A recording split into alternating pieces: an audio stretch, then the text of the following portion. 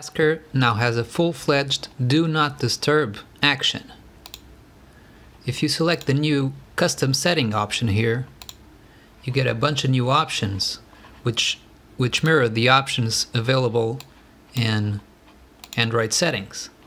So you have the allow calls, allow messages, all of these exceptions.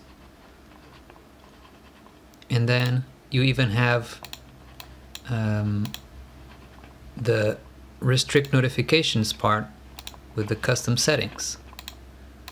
So if I go to Tasker and for example only allowed starred callers, I can enable the repeat callers option if I want.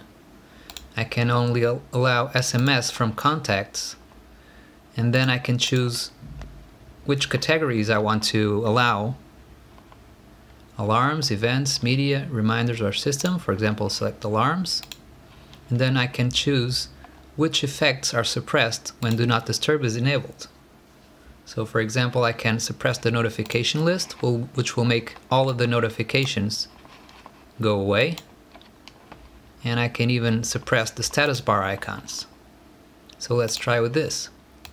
If I now run this action, you'll notice that most of the icons will disappear and this one probably has the do not disturb setting overridden.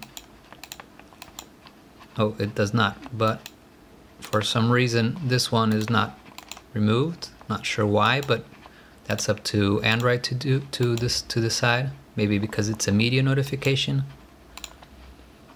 Uh, but you can change any setting and it will be reflected in Android settings only alarms, messages from contacts, and calls from starred contacts and repeat callers. So there you go. Do not disturb mode is now full-fledged in Tasker.